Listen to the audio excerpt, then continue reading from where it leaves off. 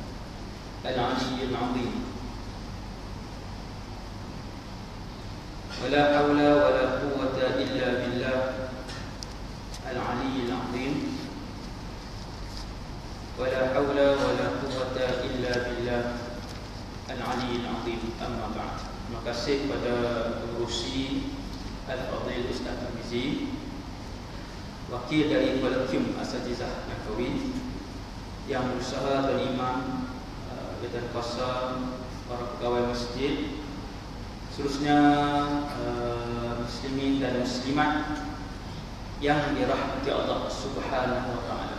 Alhamdulillah syukur kepada Allah.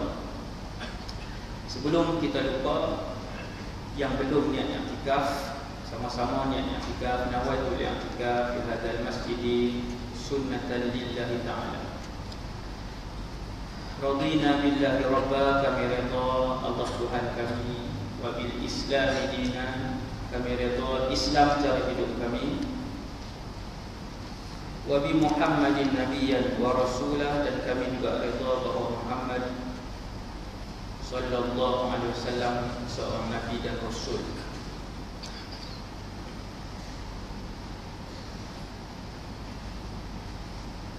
Um,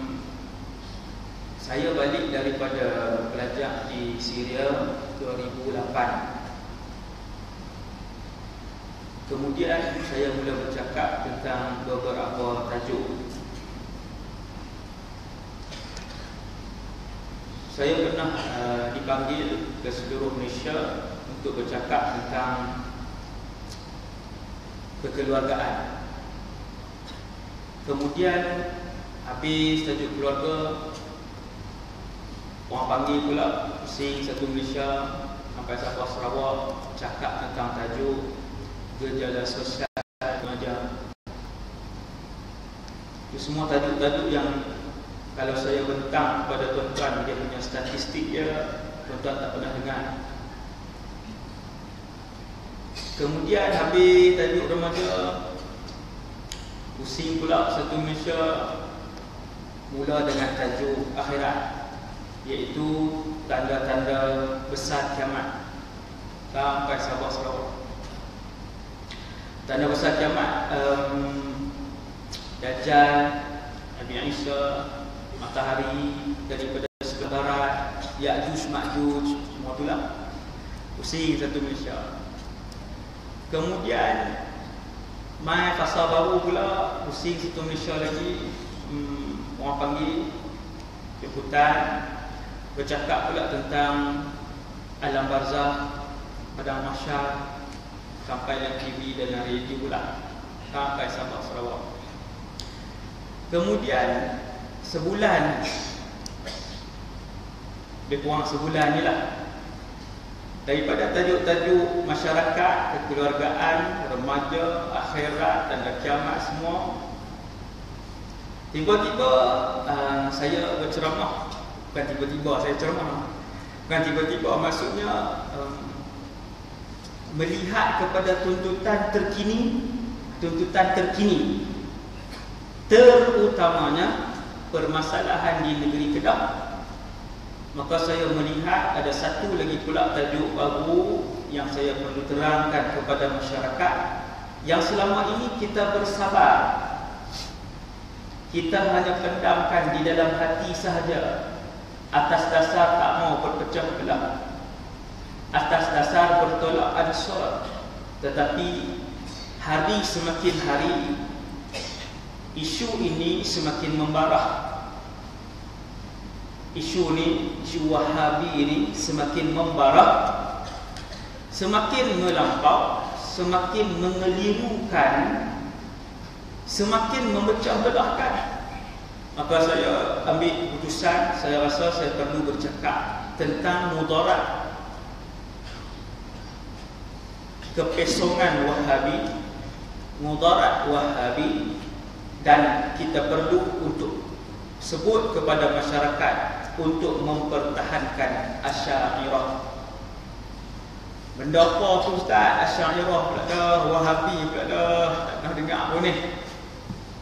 Tuan-tuan muslimin dan muslimat yang dirahmati Allah Subhanahu wa taala sekalian. Pertama sekali mazhab kita mazhab Syafi'i. Yang tu semua lah masjid tak. Ada mazhab Maliki, ada mazhab Hanafi, ada mazhab Hambali. Tapi tak bergaduh. Imam Hanafi belakang boleh semayang. Semua mazhab boleh semayang. Tak bergaduh. Tak pernah berpecah belah teruk-teruk. Tak pernah bergaduh. Di mana pun kita pergi. Jumpa kawan Hanafi, jumpa.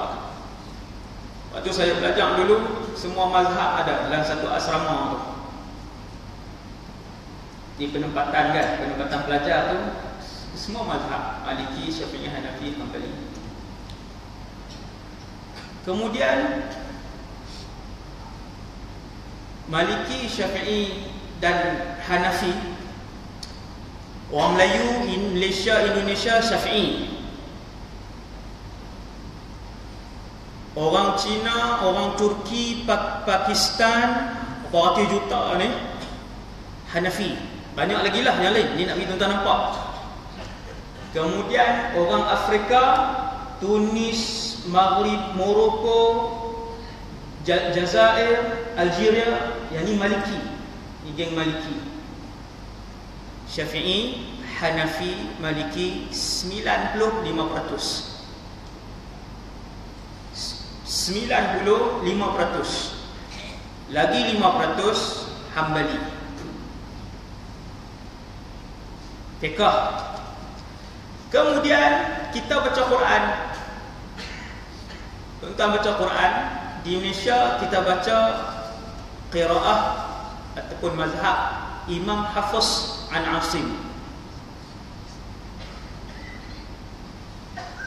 Tuan-tuan pergi pula Maghribi, Jazak, Algeria, Tunis. Dia baca Quran Qiraat Imam Warash Kemudian tuan-tuan pergi pula tempat lain Ada qiraat Imam Hamzah. Quran yang sama. Mazhab. Tuan-tuan pergi lagi tempat lain Ada mazhab Kisai Banyak ni. Kan, kan kita jangan dengar ha, Itu mazhab bacaan Quran. Berbagai Tuan-tuan boleh tengok dalam internet Tulis Bacaan Quran Mazhab Kisai. Bacaan Quran Mazhab Waras.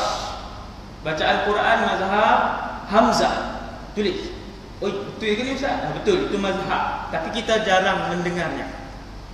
Kemudian yang ketiga Akidah Yang ketiga Tuan-tuan sekalian Akidah Mazhab akidah kita ni mazhab akidah mazhab apa? Akidah mazhab apa? Di Malaysia ni. Jawapan dia di Malaysia, Indonesia, semua yang bermazhab fiqh Syafi'i, maka mazhab akidah dia Asy'ariyah. Ini mukadimah ni nak kita tajuk ni. Tuan-tuan jangan risau, tak lama. Saya tak ada ceramah 2 jam. Kan? Sejam setengah tu ajeng ah. Ha, sejam, sejam sepuluh minit saya berhenti. Tak pun sejam je, jangan risau. InsyaAllah. Sebab ada lagi esok. Esok. Esok bukan sambungan tajuk ni juga. Ha, cuma hak lusa punya ada sikit.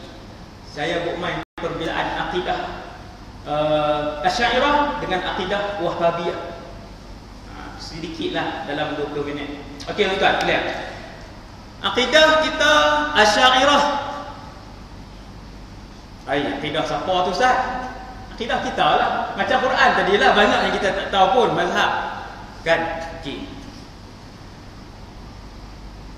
Akidah Asy'ariyah ni ke semua orang mazhab Syafi'i akidah dia Asy'ariyah. Satu, yang kedua.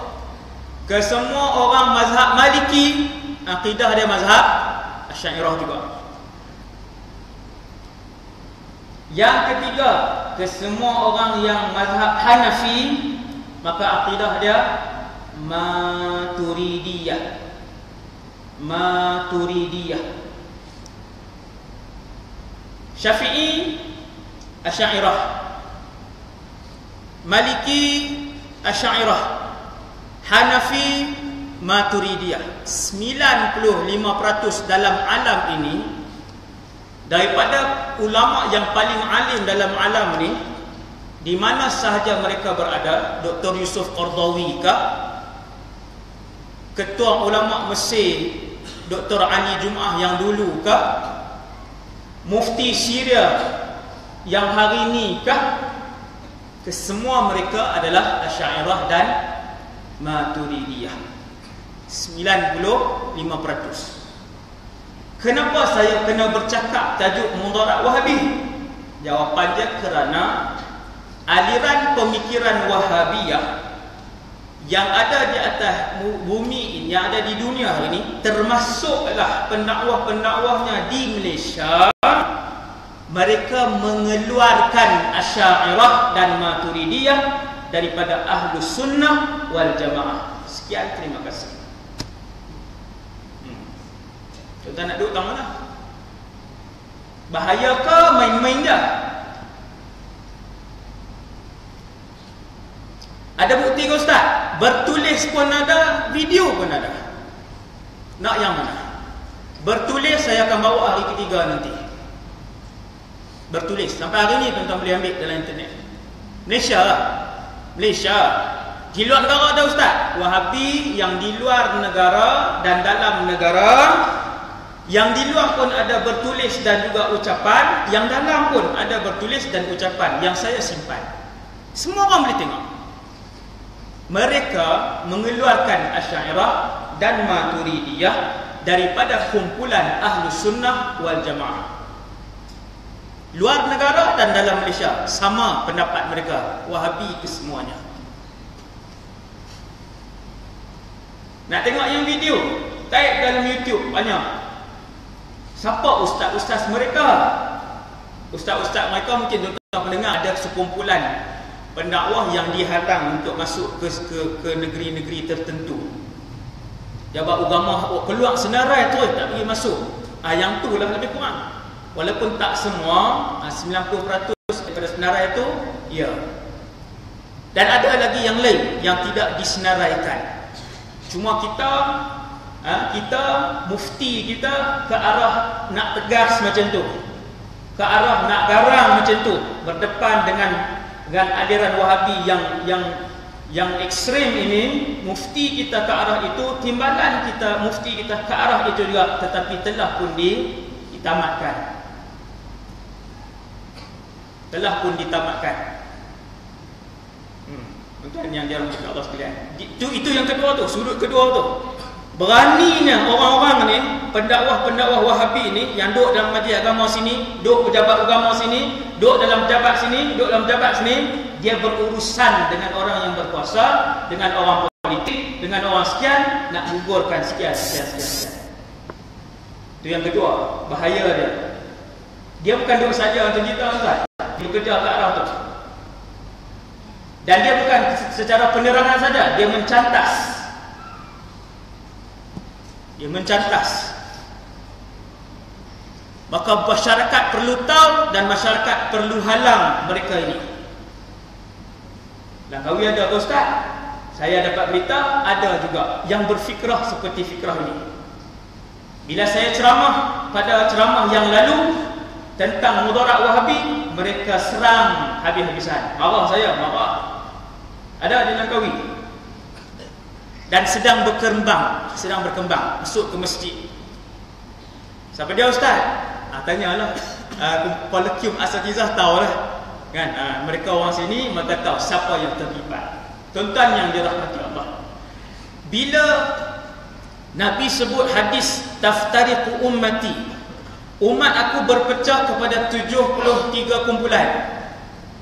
Kulluhum finnar. Semua di dalam neraka kecuali satu hadis. Umat aku akan berpecah kepada 73 kumpulan banyak ajaran sesat. Satu je selamat. Apabila ulama Wahabi hurai hadis ini luar negara dan dalam negara, ni semua ada bukti ni. Ucapan, boleh tengok dalam YouTube. Sampai hari ni ada, tak didilitkan. Apabila ulama Wahabi luar negara dan dalam negara hurai hadis ni, mereka akan sebut satu yang selamat itu adalah salafiyun, ahlul hadis. Salafi itu mereka lah. Kata mereka salafi itu.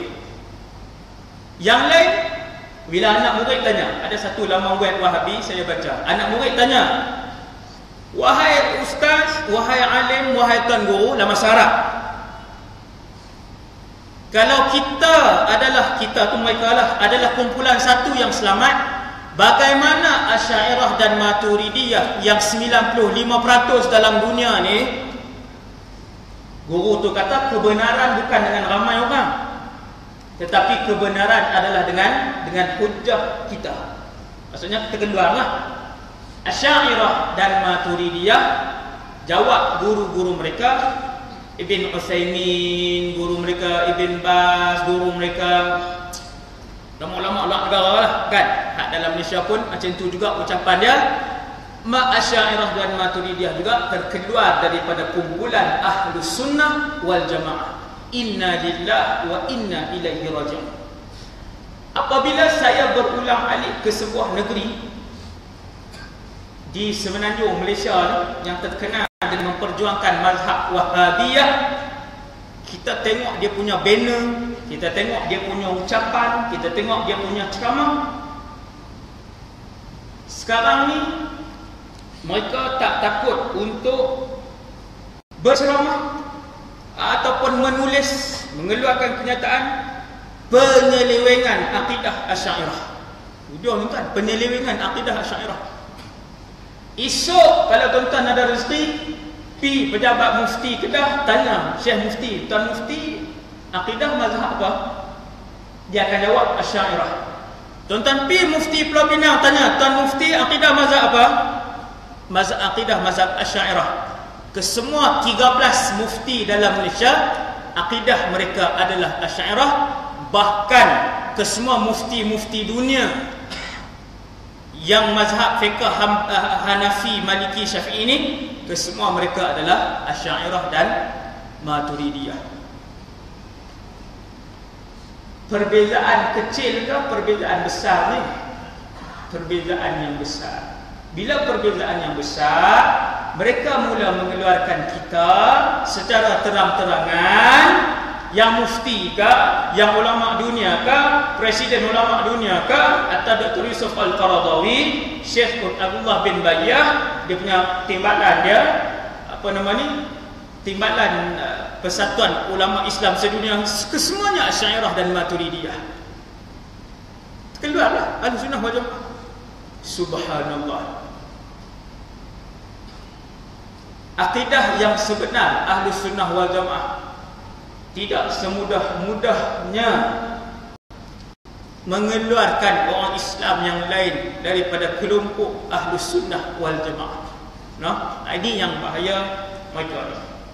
Jadi tuan-tuan sekalian kita ni asyairah.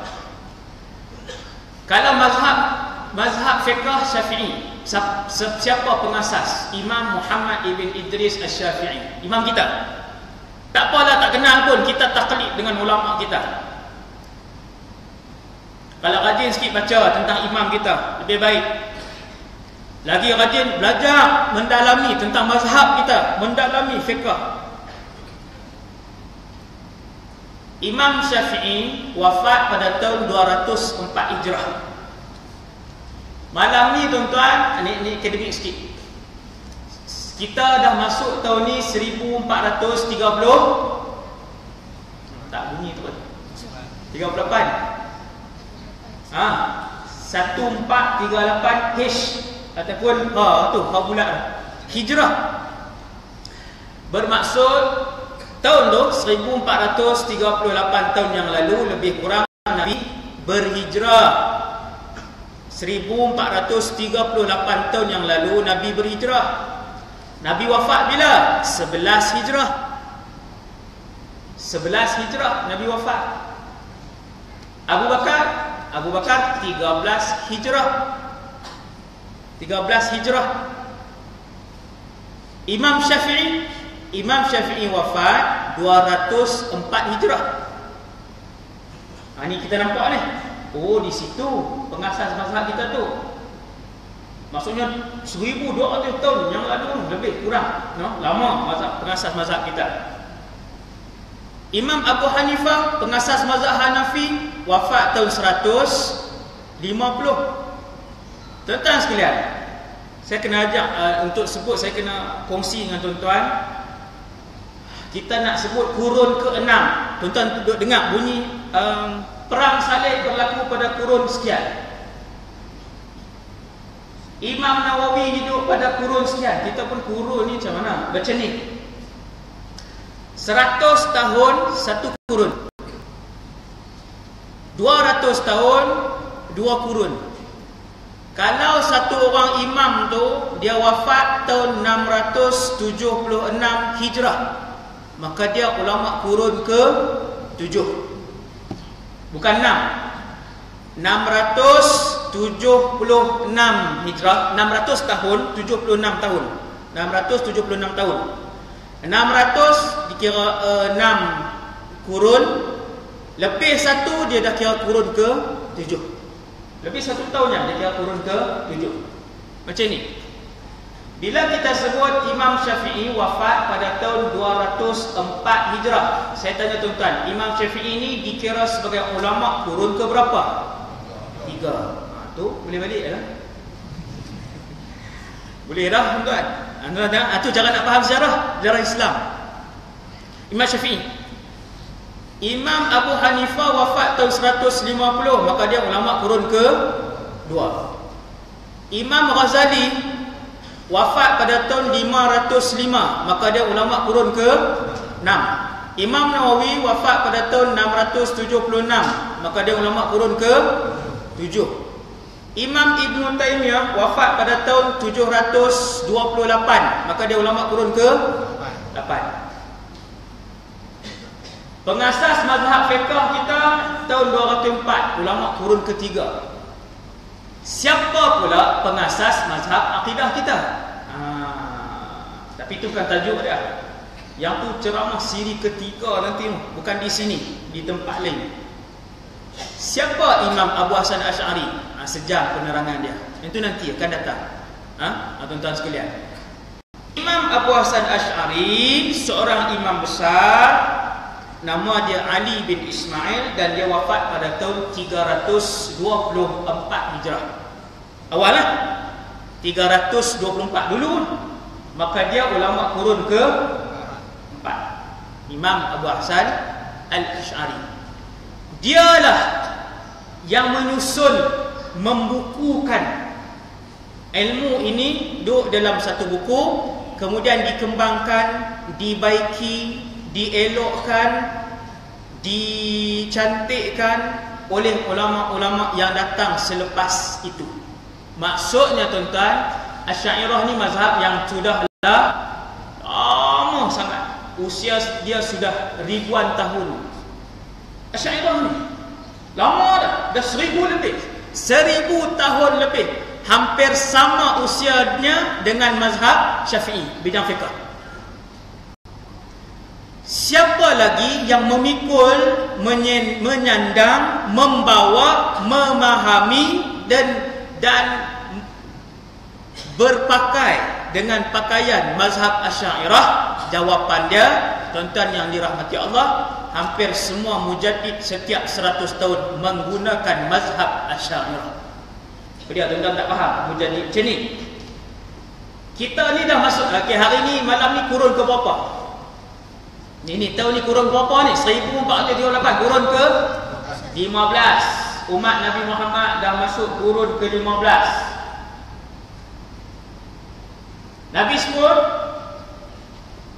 Nabi sebut setiap seratus tahun Allah akan menghantar seorang mujaddid pembaharu penegak ketua kepada semua pejuang-pejuang agama seorang Allah akan hantar setiap seratus tahun tuan-tuan seorang ulama yang paling hebat ketika itu setiap seratus tahun seorang setiap seratus tahun seorang setiap seratus tahun seorang Maka Al-Imam ada seorang imam terkenal. Saya sebut mesti tuan-tuan kenal. Nama dia Al-Imam Suyuti. Kenal tak tuan? Imam Suyuti. Imam Imam Suyuti dia pilih, dia imam besar. Imam Suyuti ni jumlah karangan dia lebih daripada 200, 300 kitab lebih yang dia karang. Imam Suyuti imam Fiqah pun dia, hadis pun dia dan semua banyak ilmu lah yang dia tulis. Bahkan kata para ulama tidak ada ruang ilmu Islam yang tidak ditulis oleh Imam Suyuti. Imam Suyuti memilih beberapa ulama yang baginya adalah mujaddid bagi setiap 100 kurun. Tuan-tuan, siapakah yang dia pilih? Yang pertama yang dipilih oleh Imam Suyuti Imam Omar bin Abdul Aziz yang khalifah zaman Umayyah tu. Ni mujaddid kan hebat Imam Omar bin Abdul Aziz ni kan zaman dia tidak ada orang miskin. Ha? Yang kita nak bagi zakat zaman tu tak boleh. Jenuh pejabat zakat zaman tu. Jenuh cari asnaf. Mujaddid. Datang 100 tahun selepas itu Mujaddid 100 tahun selepas itu Al-Imam Syafi'i Imam pengasas mazhab kita Hebatlah Imam Syafi'i ini dia berdebat Tak pernah kalah dalam perdebatan ilmu Dengan fasihnya, dengan kecerdikan yang melampau Imam Syafi'i ini cerdik Sangat bijak Imam Syafi'i Dia pilih Mujaddid Kemudian tiga 100 tahun selepas tu Imam Sayyidi kata aku melihat Imam Ibn Suraij Saya tak urang lah, urai satu-satulah jadi panjang tuan no? ha, Jadi panjang lagi Kemudian Imam Baqillani yang keempat Yang kelima, mujaddid kurun yang seterusnya adalah Imam Ghazali. Semua orang kenal ni. Ada yang tuan-tuan kenal, ada yang tuan-tuan tak kenal. Kemudian mujaddid yang seterusnya. Ni bukan Nabi sebut tuan, ni bukan hadis. Ulama-ulama besar pilih bagi kami mereka ini mujaddid. Imam Fakhruddin Ar-Razi. Dia karang kitab tafsir panjang ni. Ada di maktabah saya. Imam yang alim Kemudian Imam Ibn Daqiq al-Ain Kemudian Al-Imam Al-Bulqini Tuan-tuan yang dirahmati Allah Setiap seratus tahun Mereka inilah yang disebut oleh Al-Imam Suyuti sebagai Mujaddid. Dan kesemua mereka ni tuan-tuan Mazhab akidah mereka Ialah Asyairah dan Maturidiyah Tuan-tuan nampak? Kesemua mereka ini Mazhabnya Asyairah dan Maturidiyah Lalu daripada manakah datangnya Wahabi yang mengeluarkan Asy'ariyah dan Maturidiyah? Jawapannya tuan-tuan yang dirahmati Allah SWT sekalian, Al-Wahabiyah ini lahir daripada seorang yang bernama Muhammad bin Abdul Wahhab asal daripada Najd, Riyadh hari ini nama hari ini Riyadh, Riyadh Saudi dan dia wafat pada tahun 1206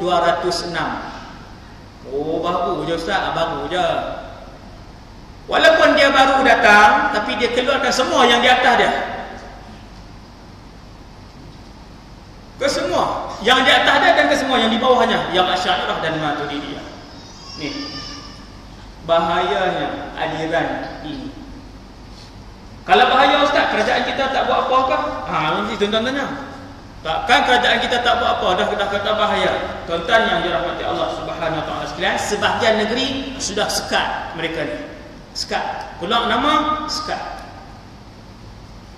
Antaranya Johor yang paling berani lah. Pahang pun sama juga. Pahang kan? Ha, Pahang. Keluarkan nama sekat, tak boleh masuk.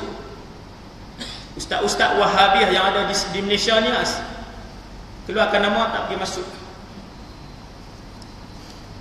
dan di di di pejabat-pejabat mufti tuan-tuan boleh tengok pejabat-pejabat mufti tuan-tuan boleh buka sendiri internet buka internet tengok apa fatwa berkaitan dengan apa nama ni mazhab-mazhab ni. Pemikiran bukan mazhab aliran wahabiyah ni. Tuan-tuan buka jakim tuan-tuan boleh tengok.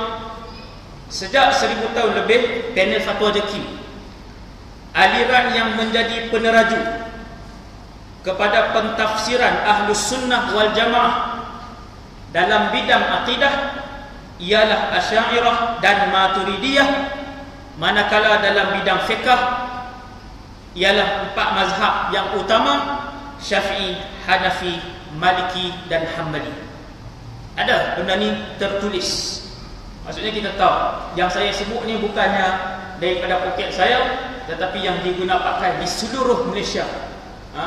dalam setiap uh, pejabat-pejabat uh, agama ataupun uh, pejabat mufti dan juga di di peringkat JAKIM. Antaranya juga Jabatan Mufti Negeri Sembilan. Kemudian kita tengok juga di JAKIM dia punya pe, pendetailan dia tentang mazhab Wahabi ini. Nah, tidak sesuai untuk disebarkan. Dia tulis kan, tak boleh disebarkan, tak sesuai.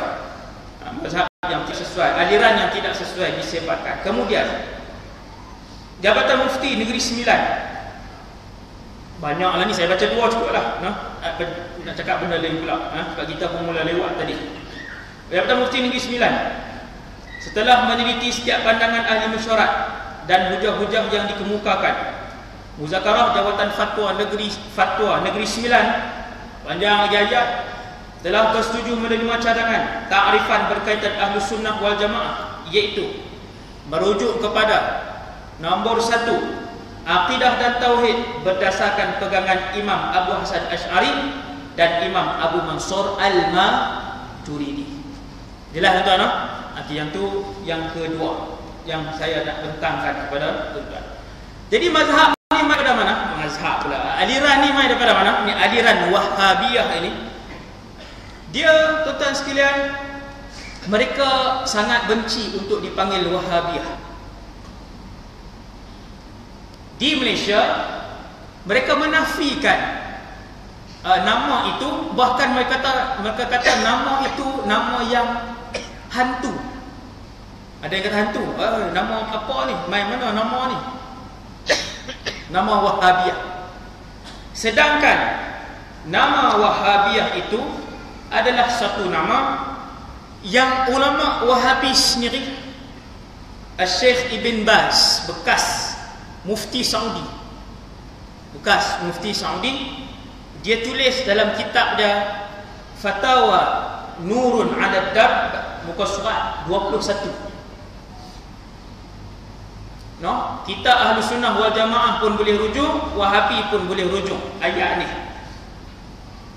Maka berkata Al-Syekh Ibn Baz, ulama ni daripada Wahabiyah ini, dia kata dan asal nama ini adalah satu gelaran yang diambil daripada nama Syekh Imam Muhammad bin Abdul Wahab ibn Sulaiman. Yang pengasas tadi lah Muhammad bin Abdul Wahab boleh tengoklah dalam kitab ni dalam kitab fatwa Nurun ala Darb ni Syekh Ibn Bas ni dia sebut kata pada zaman itu sesiapa yang berdakwah mengajak orang lain ke arah akidah yang sebenar akidah wahabi inilah ke arah akidah yang sebenar berlawan dengan syirik maka mereka akan diberikan gelaran Al-Wahhabi dalam ni.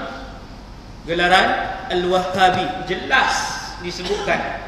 Nisbah tu diberikan. Uh, dan diterangkan oleh syekh mereka sendiri dan ramailah lagi syekh-syekh lain-lain dari sudut ucapan mereka. Nama Wahhabiyah itu diambil daripada pengasas pertama mereka iaitu Syekh Muhammad bin Abdul Wahab yang wafat pada tahun 1206 di Saudi. Sebut nama negara tu tuan-tuan tuan-tuan faham lah sikit no? Ha, tuan-tuan boleh faham lah boleh boleh bayanglah ha, di di di Saudi ya. Dan jadi di Malaysia mereka menamakan diri mereka sebahagiannya Salafi. Kenapa pula Salafi Ustaz? Kerana mereka mendakwa bahawa mereka mengguna pakai manhaj salaf di dalam akidah dan dan di dalam agama mereka beragama. Tuan-tuan yang tak pernah dengar salaf apa dia ni? Salaf ni macam ni tuan. Senang eh? tadi kita dah tadi kita dah sebut tentang kurun-kurun ni. Ada satu hadis Nabi sebut macam ni, hadis ni. Tadi hadis mujaddid kita dah terang. Ada satu hadis Nabi sebut begini. Nabi kata khairun nasi qarni. Thumma alladhina yalunahum, thumma alladhina yalunahum. Nabi sebut dalam satu hadis, Nabi kata umat aku yang terbaik adalah mereka yang hidup pada zaman aku. Kemudian kurun selepas itu, kemudian kurun selepas itu. Berapa kurun? Tiga. Tuan-tuan sekalian, hari ini dah berapa kurun? 15 kalau orang tanya kita kurun satu sampai kurun 15 pada zaman manakah paling ramai orang Islam yang bertakwa? Jawapan dia kurun satu, dua dan tiga. Paling ramai orang yang bertakwa kurun satu, dua, tiga. Mereka ini dinamakan sebagai salaf. Inilah salaf sebenar. Hak salafi ini salafi celok. Salafi tiruan. Berhati-hati barang tiruan kerana dia tak sama dengan original berhati-hati dengan barang tiruan dia tak sama dengan original itulah salafi Imam Syafi'i, Imam Abu Hanifah, Imam Sufyan Ibn Uyainah, Sufyan Al-Thawri, Al-Imam Al-Awza'i, Al-Imam Malik Ibn Anas, semua salafi. Itu salafi. Subhanallah. Imam Ahmad Ibn Hanbal, tiga zaman yang penuh dengan keberkatan dan penuh dengan orang soleh. Selepas itu dinamakan khalaf. Khalaf.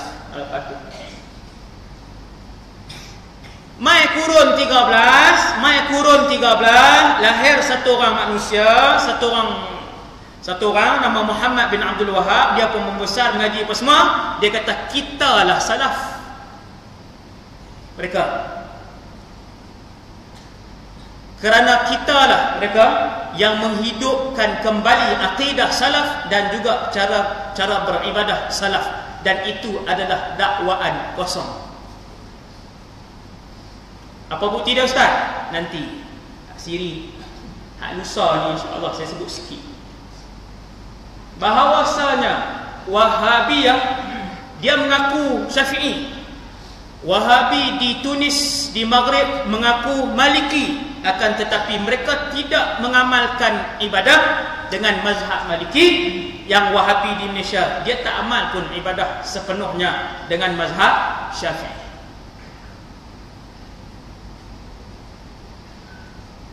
Tuan tak nampak lagi? Senang macam ni lah Tuan-tuan tanya wahabi pun Kalau tanya wahabi ni Betul ke ni? Tak, Orang kata tak ada mazhab ni. Eh kami ada mazhab Kami ajak tengok kitab fiqah apa kami ajak? Kitab fiqah syafi'i juga kami ajak? Oh ya ya. Kita pergi satu negeri Terkenal lah dengan mazhab wahabi ni. Tetapi masjid dia Dia pelekat. Imam tidak dibenarkan untuk membaca kunut ketika solat subuh. Hai. Ada tulis, tuan boleh pergi ke masjid dia. Dia tulis di, di, di, di sebahagian masjid yang rajin dia akan pelekat. Tak boleh baca kunut. Tadi kita tanya mazhab Syafi'i, ha mazhab Syafi'i, ya. tapi tak boleh baca kunut. Dia menempel di atas mazhab Syafi'iyah. Tuan-tuan, ucapan ini bukan ucapan mulut saya. Ucapan ini disebutkan oleh para ulama Al-Azhar dan ucapan ini juga disebutkan oleh para ulama di, di, di Zaitun, Zaituna, Universiti Zaituna di Tunis. Mereka mendakwa mereka Maliki di Tunis mazhab Maliki. Wahabi di sana juga mendakwa mereka mazhab Maliki tetapi pergerakan mereka kesemuanya bukan mazhab Maliki. Disebut di mulut dia. Dia menempel pada mazhab Maliki. Di Malaysia dia menempel pada mazhab Syafi'i. Tuan-tuan, dia ceramah. Tajuk ceramah dia ada sampai hari ini. Baru ni dia ceramah di satu negeri. Tajuk dia Benarkah kita Syafi'i?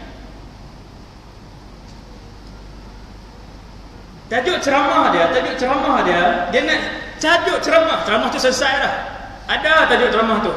Dia betul tajuk ceramah apa? Benarkah kita Syafi'i? Lepas tu dalam ceramah dia tuan-tuan akan dengar, dia kata tuan-tuan bukan Syafi'i, tuan-tuan.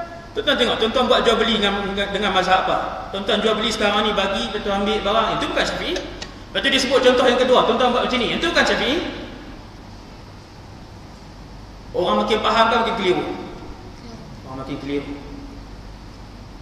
Tuan yang dirahmati Allah Dia tulis kat situ Imam Tidak membaca kunut Pada semayang subuh Imam Peraturan Peraturan Peraturan untuk jadi imam di sana Hari ini tuan-tuan boleh baca Sampai hari ini Apabila imam membaca fatihah Jangan kuatkan bacaan Bismillahirrahmanirrahim Lahankan Kan Syafi'i baca dengan jahar. Kan tuan-tuan imam tadi baca Bismillahirrahmanirrahim. Tapi bila-bila kita tanya mazhab apa ni?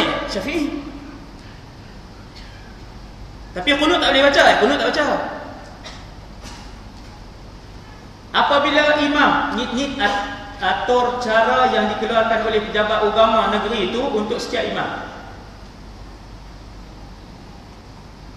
Apabila imam turun untuk sujud imam bukan imam sajalah ini untuk semua maksudnya atau cara tu. Tapi yang paling kena buat imam lah.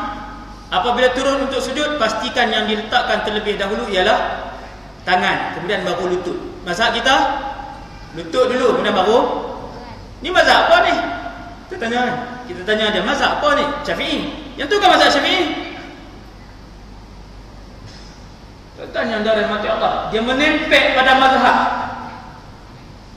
Akidah pun sama. Tuan-tuan sekalian, saya akan berceramah hari Kamis insya-Allah di Masjid Sharifah Fatimah.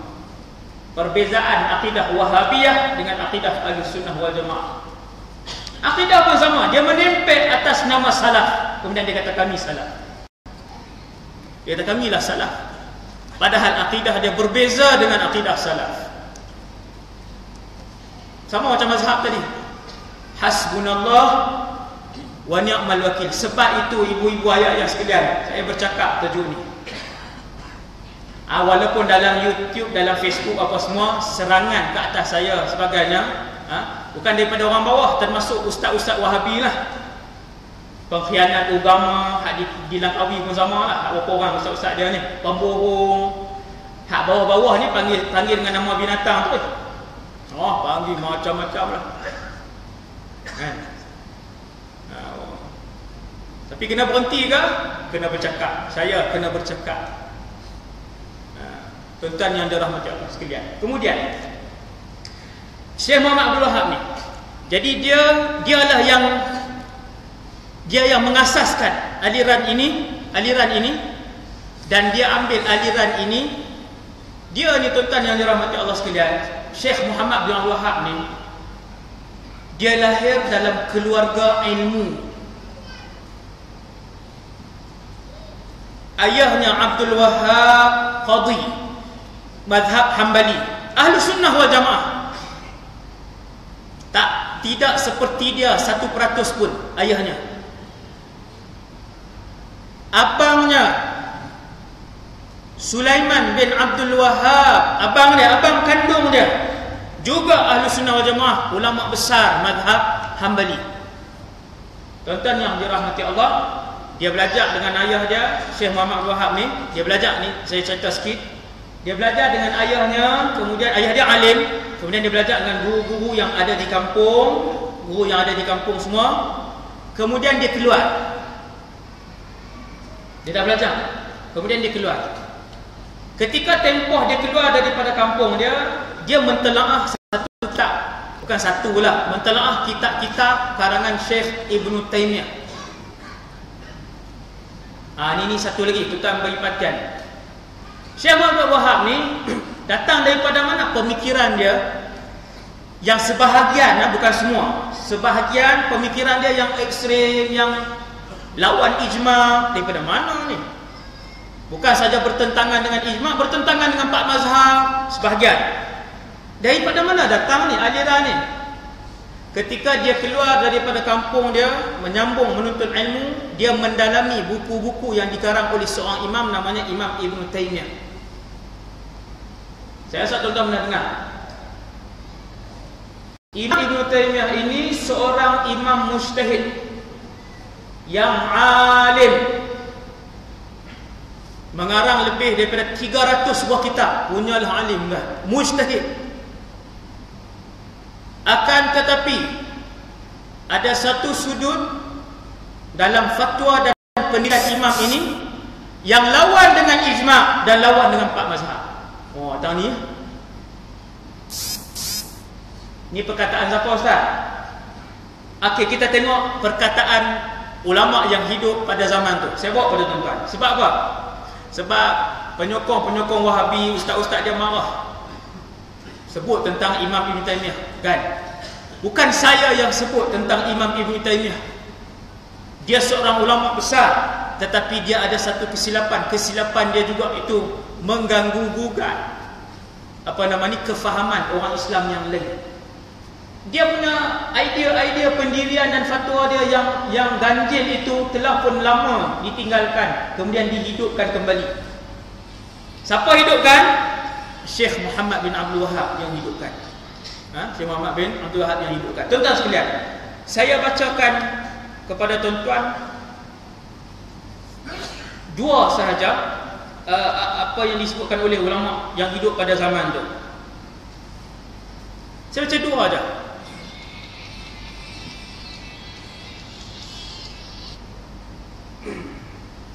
Yang pertama, seorang imam yang hidup pada tahun yang wafat pada tahun 756. Okey, dia macam ni tuan.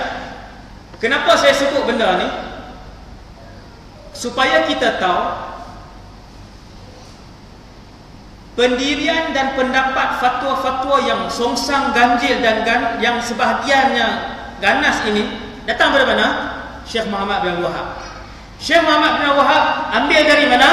Syekh Ibn Taymiyah tapi jarak tempoh hidup mereka ni jarak yang banyak sebab Imam Ibn Taymiyah dia wafat tahun 728 Hijrah dia ulama kurun ke 8 Syekh Muhammad bin Abdul Wahab wafat tahun 1206. Dia ulama kurun ke 13. Kan jauh. Okey. Apabila saya sebut Imam Ibn Taymiyah ni dia ada sedikit fatwa pendirian yang ganjil yang mengganggu umat Islam yang lain seperti mana yang disebutkan oleh ratusan ulama. Ratusan ulama tuan no? selepas pada zaman tu.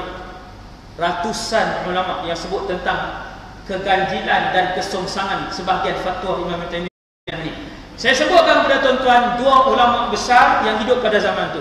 Yang pertama Al-Imam Taqiyuddin Ali ibn Abdul Kafi As-Subki dia ni imam ini dia juga mujtahid. Sama-sama alim kan dia juga mujtahid. Dia kata Imam Ibn Taymiyah telah membuat bid'ah-bid'ah dalam dasar keyakinan. Akidah akidah dalam akidah dia ada bid'ah dia Imam Ibn Taymiyah beberapa bukan semua tuan tapi bahaya walaupun beberapa tu bahaya. Dan dia telah meruntuhkan tonggak-tonggak dan sendi-sendi Islam setelah dia Imam Ibn Taymiyah sebelum ini bersembunyi di sebalik mengikuti Al-Quran dan As-Sunnah. Yang ni yang hidup pada zaman tu. Dia juga imam, dia juga mujtahid. Seorang lagi, dia banyak tuan. Banyak lagi. Termasuklah yang paling terkenal yang yang yang yang terkenal kalau saya, saya sebut kat tuan-tuan yang yang juga terkenal sebut tentang apa nama ni Imam Ibn Taymiyah iaitulah Imam Ibn Hajar Al-Asqalani. Ha, dalam kitab dia Ad-Durar Al-Kaminah fi A'yanil Mi'ah Al-Thaminah. Buka kitab tu yang boleh bahasa Arab tengok apa yang disebutkan oleh Imam Ibn Hajar. Agak keras kan, terhadap Imam Ibn Taymiyah. Maksudnya saya nak sebut Imam Ibn Taymiyah ada ada dia imam yang besar. Sangatlah alim tapi ada satu sudut dia punya pendirian dan fatwa dia sangatlah berbahaya. Okey. Dan imam yang kedua tuan Imam Waliuddin Al-Iraqi. Al-Hafiz Al-Faqih. Ni mujtahid juga. Dia kata, Ibn Taymiyah telah menyalahi ijma' dalam banyak permasalahan. Kira-kira sekitar 60 benda yang yang sanggah ijma' sebahagiannya dalam masalah usuluddin akidah dan sebahagian yang lain dalam masalah furu'uddin. Hak fiqh sebahagiannya. Ulama fiqh ijma tentang sekian Ibn Taymiyah dia lawan.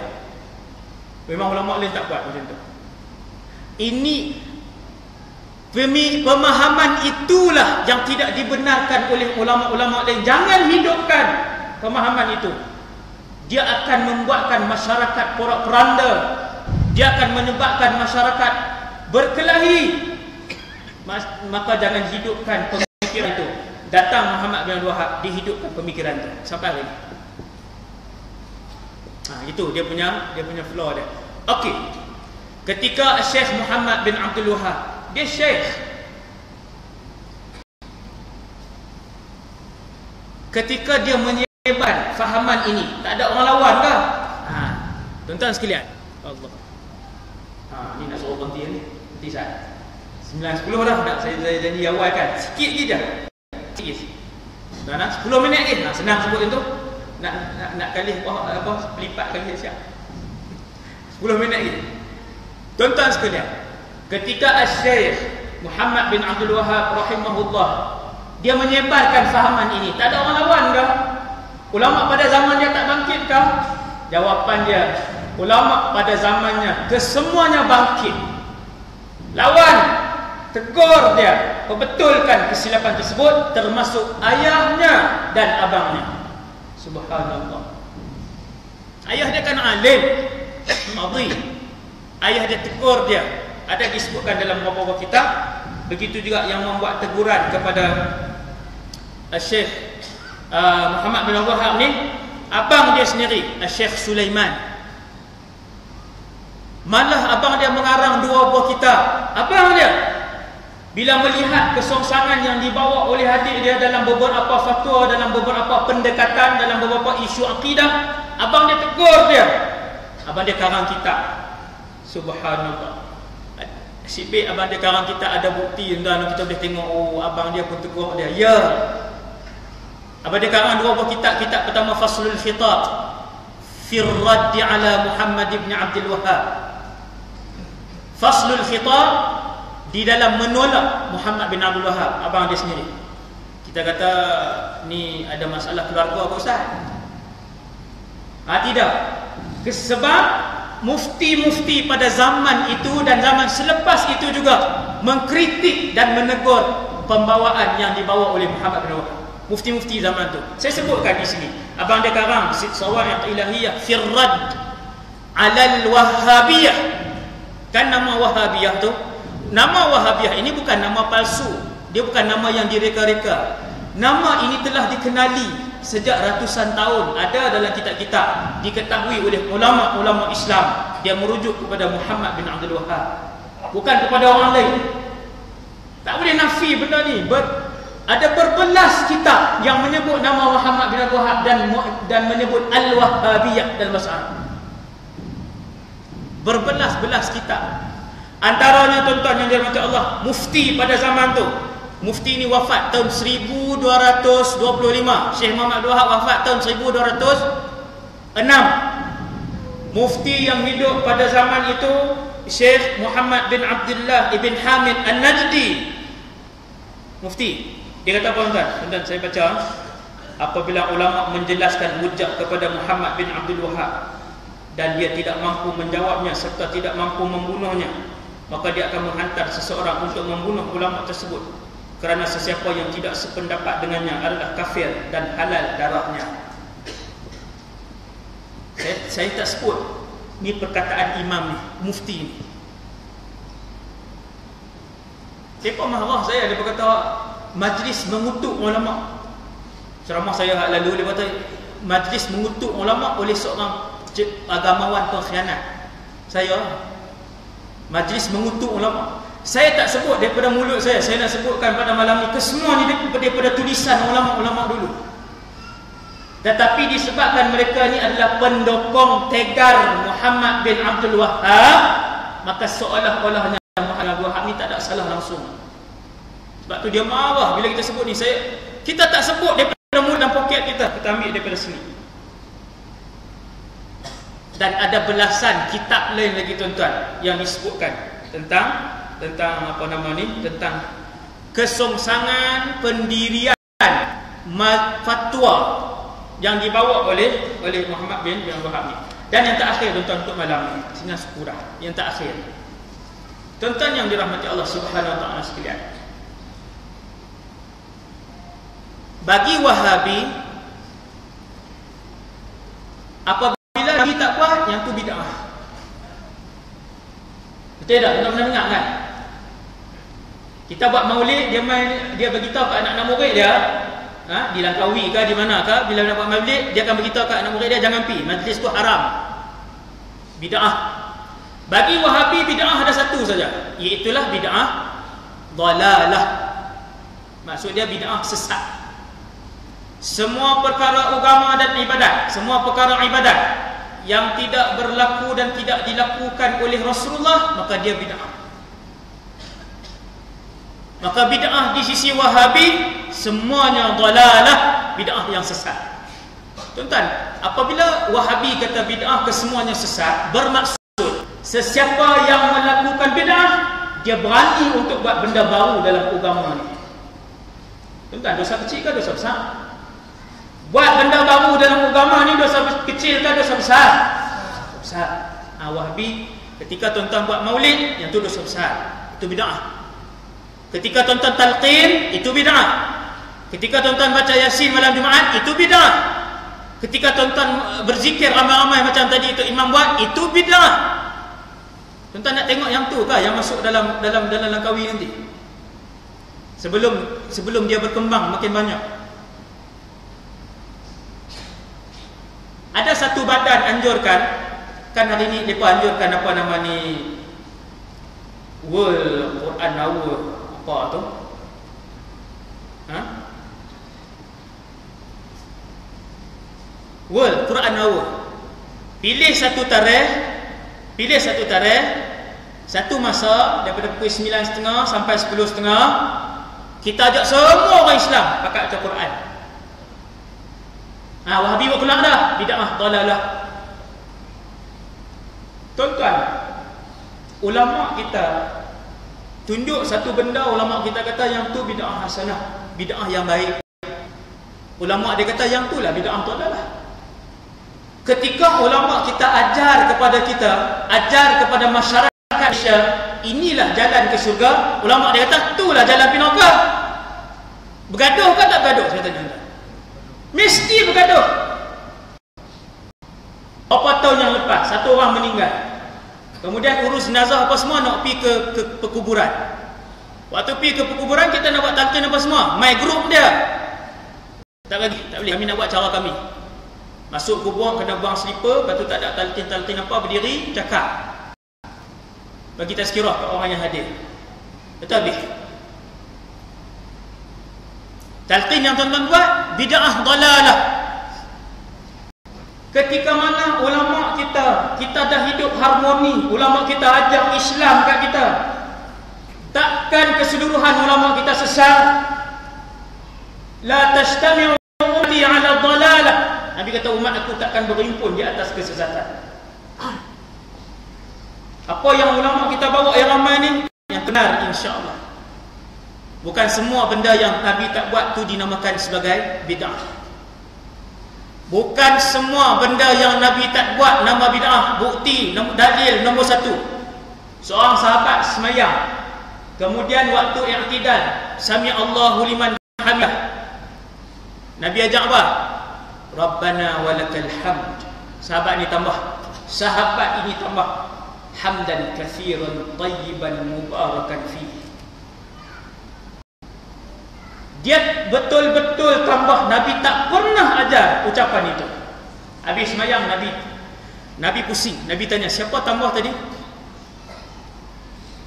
Dekat diam ah, takut nah Nabi kata siapa tambah tadi?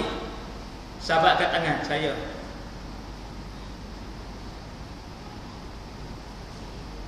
Nabi kata sesungguhnya aku melihat. Tambahan tadi ni aku melihat bid'an wa thalathina malakan yabtadiruna ilaiha.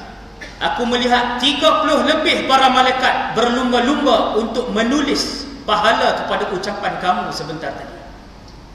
Nabi buat tak? Nabi tak pernah buat. Satu. Yang kedua Pengumpulan Al-Quran Adakah Quran sebiji? Dulu waktu Nabi hidup Sampai Nabi wafat Tidak ada Quran sebuah macam itu Itu adalah bid'ah Zaman zaman Abu Bakar Umar dan Uthman. Itu bid'ah. Tapi sahabat buat. Sahabat yang lain. Ada satu sahabat Tuan-tuan tengok. Saya buat main dua lagi contoh Kemudian selesai. Kuliah kita malam ini ada satu sahabat dia semayang. Allahu Akbar. Habis Fatihah dia akan baca qul Allah Habis qul Allah dia akan baca surah panjang. Bangun rakaat kedua dia baca Fatihah dia baca qul Allah dia baca surah panjang. Sagi maghrib dia buat macam tu. Isyak dia buat macam tu. Sahabat lain dengar Eh dia ni Nabi tak ajak ni. Nabi tak ajak ni. Bawa pergi jumpa Nabi. Ya Rasulullah Dia dengar ni. Dia buat apa Nabi kata kamu buat apa? Dia kata ya Rasulullah aku buat sekian sekian sekian. sekian. Habis Fatihah aku akan baca qul huwallah, habis qul huwallah aku baca surah panjang. Rakaat kedua macam tu juga. Subuh, maghrib, isyak semua dia buat macam tu. Zuhur, asar. Tapi yang sahabat dengar ni mungkin hak bacaan yang kuat, maghrib, isyak, subuh. Kemudian Nabi tanya dia. Kamu buat macam tu? Ya. Kenapa kamu buat macam tu? Dia kata inni uhibbuha Aku mencintai surah itu ya Rasulullah. Suka sungguh dengan qul huwallahu ahad. Katakanlah wahai Muhammad, Allah itu Esa. Dia suka kan ayat tu dia suka. Tuan-tuan bila dia jawab aku mencintai dan aku sayang, aku suka dengan surah itu. Nabi kata, "Hubbuka iyyaha adkhalakal jannah." Cinta kamu kepada surah itu memasukkan kamu ke dalam syurga. Tengok. Kan tak sama dengan Wahabi. Kan tak sama dengan Wahabi. Tak sama. pendekatan yang tidak sama pendekatan yang bawa oleh Wahabi ini pendekatan baru yang direka tak sama dengan salaf akidah dan ibadah berada perbezaan dia ada per, ada perbezaannya dan yang terakhir ialah seorang sahabat yang sebelum dia dibunuh nama Khubayb bin Adi radhiyallahu anhu seorang sahabat sebelum dia dibunuh sahabat ni di, di, dihukum bunuh tuan. Sebelum dia dihukum bunuh dia minta untuk solat sunat dua rakaat. Solat sunat dua rakaat sebelum dihukum bunuh. Nabi tak pernah ajar disebutkan dalam sahih Bukhari bahawasanya dia awwalu man sanna. Orang yang pertama yang buat solat dua rakaat qutila sabra. Yang dibunuh dalam keadaan sabar. Orang pertama buat. Nabi tak nak ajar dan sebelum dia dibunuh dia pun sembahyang Allahu Akbar. Dan Nabi mengakui ibadah itu. Nabi tak kata bid'ah dalalah kerana bukan semua yang tidak diajarkan oleh Rasulullah itu bid'ah. Selagi mana perbuatan itu perbuatan itu ada dalil tidak bertentangan dengan syariat dipimpin oleh pandangan para ulama maka kita boleh buat. Kita boleh kita boleh buat tuan yang dirahmati Allah sekalian saya rasa sekadar itu dulu insyaallah untuk malam ini yang baik daripada Allah taala yang lemah dan kurang kepada diri saya sendiri. Samalah kita menjaga akidah kita ibadah kita bersama dengan para ulama kita. Ha? bersama dengan para ulama kita yang terpilih yang dipilih oleh Allah untuk memimpin ummah kita. Dan sama-sama kita jaga ahli keluarga kita daripada terjebak dengan pendakwah-pendakwah yang bawa fikiran ini, aliran ini. Ha?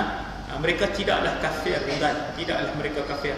Tetapi aliran yang mereka bawa memecah belah masyarakat, menambahkan kekeliruan masyarakat. Qul qali hada astaghfirullahaladzim wa lakum.